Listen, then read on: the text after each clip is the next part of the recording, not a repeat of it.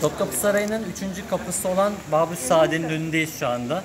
Birinci kapı Babü Hümayun'du, saltanat kapısı. İkinci kapı Babü Selam, selam kapısı. Padişah selamlanarak girildiği için bu ismi almış. Üçüncü kapısı da burası. Babü Saadet, huzur kapısı. Artık padişahın huzuruna giriliyor. Bu kapının önünde birçok törenler yapılıyor. Padişahın tahtı buraya konuluyor. Bayram törenlerinde, culus törenlerinde padişah tahta çıkarken ilk biat törenleri burada yapılıyor. Orduyu sefere uğurlarken sancak-ı şerif buraya dikiliyor. Ve bu kapının sağlı sollu iki tarafında muhafızlar bekliyorlar, ak ağalar. Bu kapıdan girdikten sonra bu arada Osmanlı zamanında Osmanlı halkının gelebileceği son nokta burası. Yani buradan içeriye girmeleri mümkün değil. Sadece saray görevlileri, paşalar, vezirler ve padişah ve ailesi girebiliyorlar. Görevliler girebiliyorlar. Bu kapıdan sonra ilk karşımıza çıkan şey arz odası. Padişahın huzuruna çıkılıyor. Yani arz edilecek şeyler padişaha.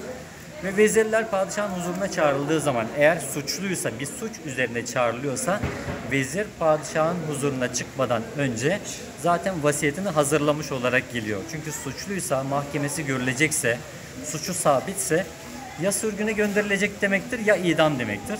Şimdi kapıdan geçelim bakın. Kapı iki şekilde, iki kanatlı. Birinci kanatları burası. Bu iki kapı açılıyor. Ak ağlar kapıları açıyorlar görevliler. Ve vezir içeri giriyor. Şu anda iki kapılı ilk kanat açıldığı açılıp da ikinci kapı açılmadan ikinci kapıya çevirin. İkinci kapı açılmadan vezir burada bir süre bekletiliyor. Bu arada ocak ağları burada beklerken bakın ocak burada.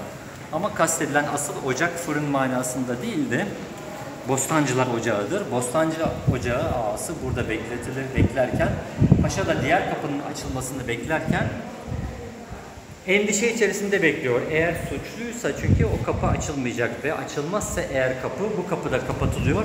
İki kapı arasında sıkışıp kalma tabiri budur işte. Ve bu bu esnada diğer kapı yani cellat odalarının bulunduğu kapı açılıyor.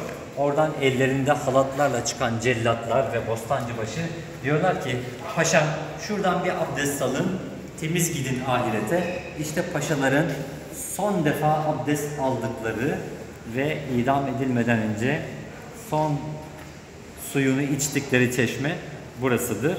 İki kapı arasında sıkışma tabiri de bu iki kapı kapanırsa, ikisi de açılmazsa artık paşa idamlık demektir. Ya da sürgüne gönderilecek demektir.